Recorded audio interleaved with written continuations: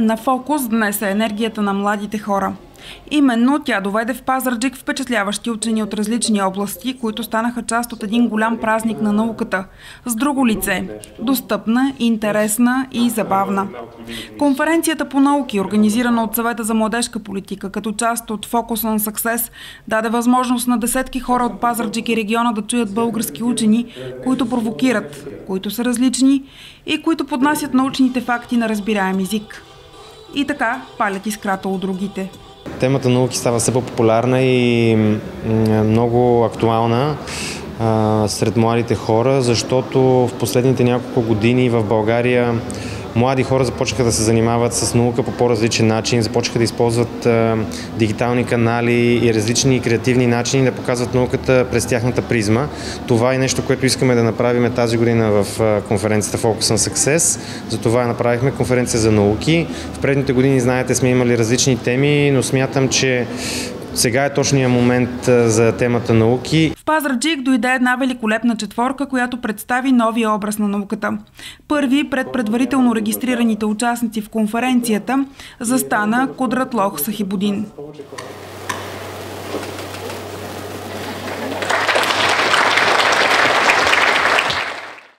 Известен като експлозивния химик, студент по биотехнологии с страст към химията, биологията и преподаването, като в момента работи по дипломната си работа на тема орган в чип.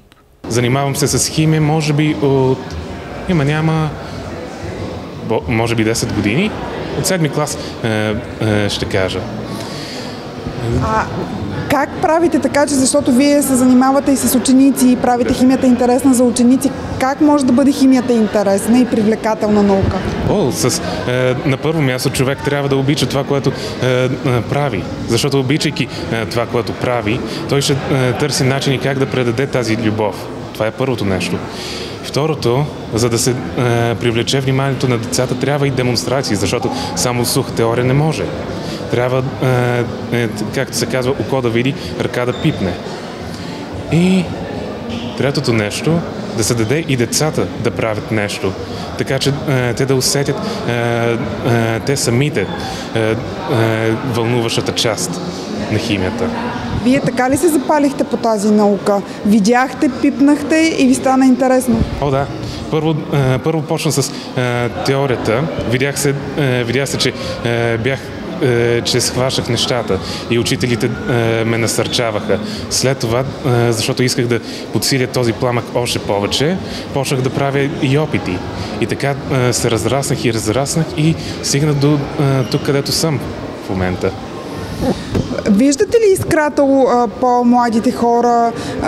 запалват ли се и те по този начин, по който вие го правите? О, да, със сигурност. Това вече пак си зависи от дете до дете, защото някои може да са по-склонни към биология или пък и, към история. Но е, винаги като, преподав... като човек, който преподава, радвам се да видя е, искрата, която е, децата получават, когато видят нещо ново, научат нещо ново или опитат нещо ново. И това в трябва ли според вас да се промени начина по който се преподава наука, за да стане тя по-достъпна и по-интересна? Единството нещо, което бих казал, че трябва да се промени за сега е да се позволи повече креативност на децата. Защото е, като видят е, какво могат да измислят и какво могат да направят със собствени сили, те ще се вдъхновяват те самите себе си също е, така. Смятате ли, че подобни инициативи като тази конференция за науки а, са полезни и ще работят точно в тази посока? О, да, със сигурност. Даже е, е, някои от нещата, които са ми помогнали е, да се вдъхновявам, са е, били подобни конференции или събития, свързани с наука, където учени са идвали е, е, в е, някои зали и са е, показвали е, това, което обичат. Или са организирали посещения в музеите и те сами са обяснявали, примерно, експонатите какво представляват, защо са е, така важни, защо са интересни и с какво са ни полезни. 19-годишната Татьяна Иванова от Добрич плени публиката със своя разказ за това как малко по малко сбъдва мечтата си, а тя е да полети в космоса. Младата жена е приета в единствената академия на НАСА, сертифицираща кандидат-астронавти. Първо това си беше моята страст, която се зародила в Space Camp Turkey, но когато си от малък град, някак си си предизвикан да излезеш извън шаблона и да, разчупиш стереотипите и да прескочиш своите собствени лимити и граници. Така че това, че израснах в Добрич, много ми помогна. Но в интерес на истината, хората около мен и контакти, които създадох, те ми помогнаха да си доразвия мечтата. По принцип всички деца като малки си мечтаят да литнат в космоса и да бъдат космонавти. А, ти обаче вече си е, много крачки по-близо до тази цел, нали така? Да, реално аз бях на 15. В смисъл бях във възраст, която вече е доста осъзната и бях сравнително нали, зряла, беше зрял избор. Аз занимавах се с изкуство дълго време, но за 4 години благодарение на подкрепата на страшно много хора, не само финансово и, морално, успях да, да се доближа по-близо. И това да си създаваш а, правилния кръг от хора около теб, ти отваря много възможности, научаваш за много неща, ако ги сграбчиш и не се а, така не се свиеш и не се стоиш в стаята, ами работиш върху целите си, нещата се случват. Стъпваш ли върху това, което всъщност България има в космическите науки, защото а, нашата държава е една от малкото, която е изпратила космонавти в космоса, произвежда храни, не само да. храни за космоса?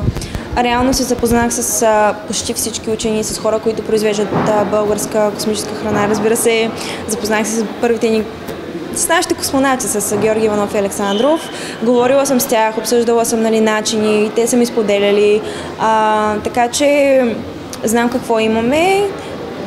Учих известно време в България висше образование, но просто предпочетох да продължа седването си в САЩ, защото знам, че тук ще получа много добра теоретична подготовка, но също време осъзнавам, че е много важно на тази възраст да се изместя там, защото възможностите, които предлага цяло, като цяло страната, са много повече и това да си в студентски клубове и с правилно а, така, подбран кръг много помага.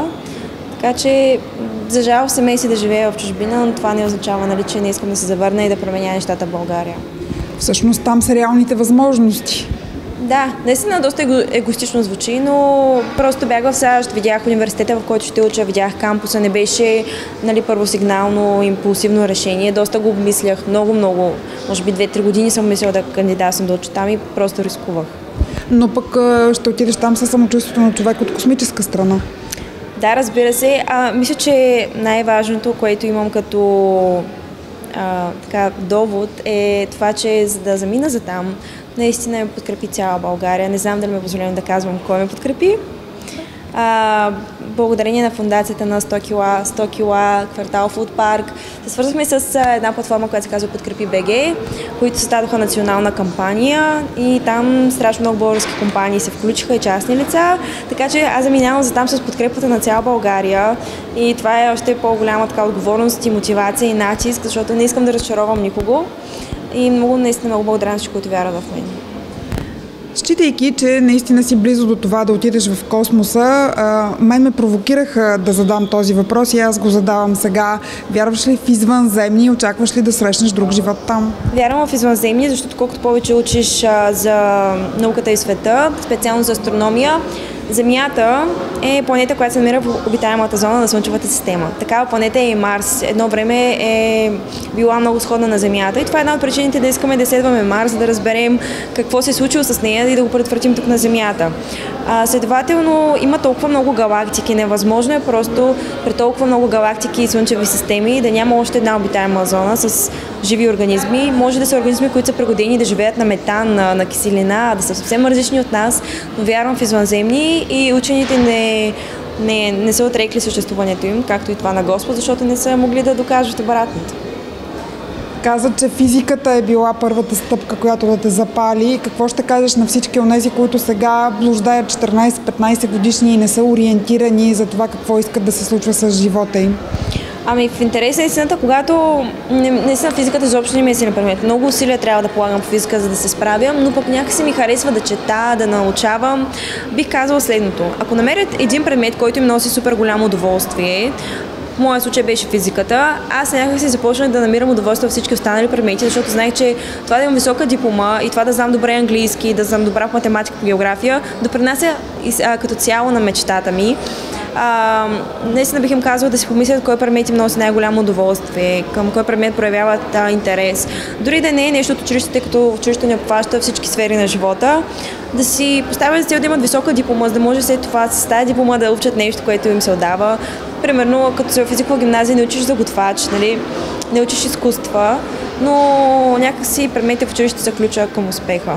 Трябва да слушаш учителите. Те, те, са, те са добрите в играта. И ако сега ние започнем да мечтаем с теб ти да станеш космонавт един ден, кога Иванова ще последва Иванов в космоса? Ам, Надявам се до 15 години, но аз не искам да бързам. Ако има възможност за комерциален полет за 10 минути, разбира се, че би го приела, но искам да премина през турната подготовка, защото според мен важното е приключението до там. It's not about the destination, it's the journey. Това е една много известна фраза на английски язик, така че когато тогава, когато съм възможно най-готова и момента настъпи. За да сбъдне мечтата си, на Татяна и се налага да се подлага на различни изпитания и предизвикателства, за да е подготвена за онова, което космосът ще й предложи. Лекарят предприемач доктор Ваню Везирев пък предизвиква представите ни за медицина. На конференцията той представи лична история за това как е успял да се пребори, да следва пътя на сърцето си и да осъществява мечтите си. Той е създател и на черепа Оскар – идеалният 3D принтиран човешки череп. Аз още в следването си започнах да се занимавам с 3D принтиране. И това е една моя страст. И за мен беше голямо предизвикателство да преплета три неща. 3D принтирането и иновациите в медицината, медицината и пътешествията. Нещо, което също е много важно за мене.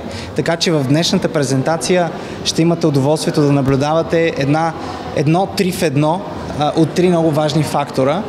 И се надявам наистина да вдъхновя хората към това да следват мечтите си. И това за мен е доста по-важно, отколкото да бъдат добри професионалисти. Защо? Защото според мен цената на щастието не бива да е за сметка на професионализма, но и обратното. Професионализма не бива да е за сметка на личното щастие на индивида. И има много хора, които а, работят толкова много, че забравят да отделят време на семейството и приятелите си, на хобитата си и на духовното си развитие.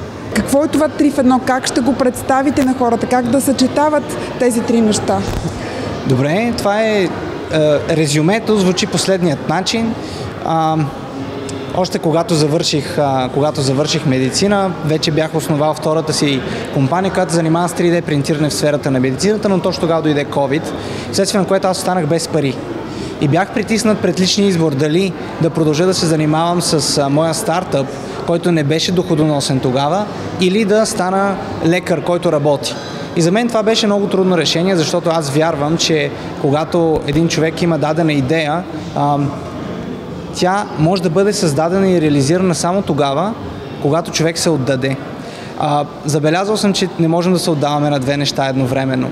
Вследствие на което аз реших да се отдам на компанията си, но имах нужда от вдъхновение. Това вдъхновение намерих в пътешествията, в къмпинга и в пътешестването с кар кемпер. Превърнах си колата в кемпер и прекарах 3 месеца на морето с само 400 лева. След което се прибрах отново в София и с последните 2 кг филамент, които ми бяха останали, създадох революционен продукт, 3D принтиран модел на човешки череп, който в момента е най-точният човешки череп в целия свят, който в момента се използва от над 5 университета в Европа и над стотици студенти вече са се докоснали до магията на Оскар. Как ще се прилага това в медицината? 3D принтирането има три нива на приложение в медицината. Първото ниво е в обучението на студентите и проблема, който реших е, че голяма част от медицинските университети днес имат проблем свързан с наличието на модели и на истински кости и черепи. Защо? Защото те са щупени. От многократната употреба те са повредени. Няма нови, нови, които да се закупуват от университетите, вследствие на което студентите страдат от недостатъчно добро обучение по анатомия. Но 3D принтирането ни дава добра възможност да създаваме кости, абсолютно идентични като костите в човешкото тяло, чрез компютърна томография. И точно това и направих. Успях да адаптирам компютърен томограф на истински череп и да го превърна в модел, който след това да изпринтирам. Още когато го изпринтирах, го публикувах във Facebook и вечерта получих доста съобщения, свързани с това, че студентите в България имат нужда от това нещо. Те имат нужда от модели, върху които да се обучават. Защото човешката анатомия е адски трудна човек да си я представи само когато я чете. Имаме нужда да го разгледаме, да го пипнем. Знаете, хирурзите, те са много тактилни, тактилни хора. Второто, второто ниво на приложение на 3D принтирането е в хирургичните модели. Това са модели, които не са с конкретна а, здрава анатомия, те са с патология вече. Имаме някакво увреждане. Когато изпринтираме дадена коса с дадено увреждане, ние можем да тренираме операцията предварително, което е адски полезно за сложни операции, като например сколиоза, а, друг тип гръбначни изкривявания, а, многофрагментни фрактури на крайниците, и третото ниво на приложение на 3D принтирането е а, революционно, защото се занимава с 3D принтиране на персонализирани импланти. Това са импланти, които са създадени точно по пациента от един нов полимер ПИК, полиетил, полиетилен етеркетон. Така че това са трите приложения на 3D принтирането в медицината и това е нещо, с което аз се опитвам да се занимавам, да, го, а, да образовам българското лекарско съсловие за новите възможности на високите технологии, като 3D принтиране и виртуална и добавна реалност. От една страна в университетите, от друга страна в клиниката и от трето место, нещо за което не се говори в, в България, обучението на пациентите. А, до голяма степен информираното съгласие а, в, в а, в болниците, когато го подписват дадени, дадени пациенти, е формално. Те не разбират собственото си заболяване и на практика не могат да вземат истински информирано решение за своето бъдеще. Така че образоването и на пациентите като група също е нещо важно. Колко важно е как се храним и как живеем сега за бъдещите поколения, сподели доцент доктор Милена Георгиева, която работи в най-загадъчните сфери на молекулярната биология, генетиката, епигенетиката и съвременната биомедицина. Доцент Георгиева е и комуникатор на наука. Това е една много, много голямо призвание за учените, които се опитват на разбираем език да разказват какво се случва в лабораторията, какви неща работят от научна експериментаторска гледна точка. И повярвайте, това изисква много различен език, когато комуникираш пред аудитория, която не е запозната с тематиката, в която работиш и изисква много интересни познания на това да бъдеш интересен, забавен и в същото време да бъдеш строго научно така последователен и много верен до истината зад науката. Какво ще кажете на аудиторията тук в Пазарджик? Аз имам а, така честа и призванието да работя в науката за човешката наследственост, генетиката. Още повече изследваме начина по който факторите на околната среда влияят върху тази генетика. И това, което ще разкажем на тази млада, разкошна аудитория е всъщност как, грижайки се за начина си на живот, те повлияват наследствеността, която предават на своите бъдещи поколения. Даже лекцията се казва как да бъдем по-добри в сравнение с нашата генетика, т.е. как да се съобразим с това, което сме унаследили като наследствена информация и как да го модерираме, като се опитваме да се приспособяваме към непрекъснато променящите се условия на околната ни среда. И как може да се случи това? Как можем наистина да подобрим това, което ще предаваме на следващите поколения? Знаете ли, след като разчетоха човешкия геном в началото на това хилядолетие, стана ясно, че ние генетично сме почти еднакви. Тоест, за да бъдем така различни, да мислим различно, да се движим различно, да се справяме различно с различни задачи и стреса, например, това изисква различни механизми, които опосредстват начина по който работи нашата генетика. Тоест, с начина си на хранене, с начина си на физическа активност, с начина на справяне с стреса, медитации или други дейности, които ни карат да се чувстваме добре, ние можем да, да променяме изявата на нашата генетика и да я насочваме към това да се справяме по-добре в определени условия на околната среда. И нещо повече, предаваме тази различна биохимия в молекулата на ДНК и на следващите поколения. Това е най- най-важното, което ще се опитам да, да дам като послание. Тоест, ние не предаваме само нашите гени, ние предаваме дори нашите преживявания, начина по който се храним, начина по който живеем на нашите бъдещи поколения. И даже в науката епигенетика, в която аз работя, което означава надгенетика или просто предаване на наследствена информация, без да се промени молекулата на ДНК, ние казваме, ние сме това, което са нашите родители и прародители. Тоест, тези живявания имат отзвук в бъдещите поколения и то много сериозни като наследственост. Какъв отпечатък обаче ще остави нашето съвремие, което е динамично, стресово, нездравословно хранене, нездравословен начин на живот изобщо? За съжаление, наистина живеем в много забързан свят. Свят пълен с много стресови ситуации, свят пълен с много промени, към които и нашият мозък трудно се адаптира. Но трябва да ви кажа, че човешкият организъм и изобщо живите системи имат много добри механизми за адаптация. И когато ние познаваме тези механизми, техните молекулни механизми на проявление, каквото правим ние учените в тези сфери, като генетика, епигенетика и молекулярна биология, можем добре да модерираме начина си на живота, така че да се справяме в тези условия. И да, наистина света е много по-забързан, много по-сложен, но пък вече имаме достъп до много модерни технологии. Имаме достъп до прецизна медицина, имаме достъп до генетика на, на, на човешките заболявания, имаме достъп до прецизни лекарства, прецизни дори спортни режими, хранителни режими, които обосновани на нашата генетика, всъщност могат много добре да ни насочат как да модерираме начина си на живота, дори в условията сега на забързаното ни ежедневие. Но всъщност няма ли именно технологиите да повлияят на нашето генетично послание? Технологиите повлияват много сериозно и те са както навсякъде, когато се появи някакво ново откритие, то винаги има плюс и минус.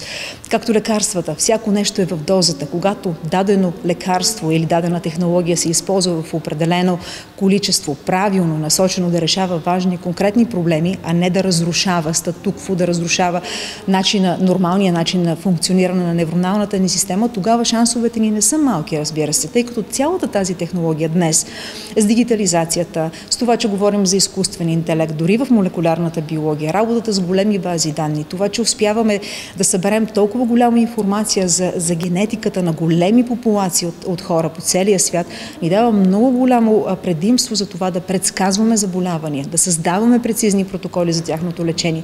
Така че технологиите си имат и плюс и минуси, когато ние обаче осъзнаем риска на това прекомерно употребяване на дигитални устройства или така нареченото проблемно използване на екрани, както се дефинира в момента в психологията, познаваме колко е вредно, можем да намерим протоколи за намаляване на вредата, не да го изключим напълно, тъй като той е част от нашия живот и е задължително, но да модерираме неговата изява за да може да намерим време да излезем сред природата, да се позабавляваме малко, да имаме нормални социални контакти, не само чрез социалните мрежи. Това са неща, които ние трябва да заложим като етични норми на поведение. И такива дискусии с моите хора всъщност може би помагат да се вземат такива правилни решения за бъдещето. Имате ли вашите кратки правила за това как да живеем здравословно, така че да предаваме по-здрави гени? Ами имам си моите правила, да, които прилагам и, и върху себе си, и върху най-близките си хора и ги комуникирам. На първо място е слушайте тялото си, тъй като то говори. В момента, в който поставим тялото в някакви неблагоприятни условия, тялото сигнализира. Ако ние сме прекалено забързани, прекалено не а, така насочени към вътрешно, вътрешното си аз, тогава пропускаме тези сигнали и те се натрупват и стреса става дистрес. Когато обаче тялото се слуша, мерките се вземат храня се, качвам килограми. Значи храненето не е правилно или прав... нямам нормална физическа активност. Чувствам се добре, значи се храня добре. Тоест това са едни персонализирани протоколи, които зависят от самонаблюдението на тялото здравословното хранене, редукцията на риска от всички вредни фактори, които днес са виновни за причиняването на така наречените непобедими въпросителна или така наречените скрити пандемии, затластяване, диабет, втори тип, сърдечно-съдови, невродегенеративни заболявания. Всички те зависят от нездравословното хранене. Когато го разпознаем като риск, можем да разработим стратегии за намаляване на тази вреда. Прекомерната употреба на алкохол, друг рисков фактор, също редукция, не тотално императивно забраняване на тези неща, но една редукция, особено сред подрастващите. Тютюнопушенето също. В момента, в който сме наясно, че ние вредим на тялото си, нека да вземем правилни, правилни подходи за намаляване на този риск. Проблемното използване на екраните, всички тези четири фактора, които ви изборих, са причина за тези скрити пандемии. Когато човек слуша тялото си, и осъзнава с какви фактори е заобиколен, той може да разработи собствени персонализирани протоколи за това да се справя по-добре и да предава и една наследственост по-добра на своите бъдещи поколения.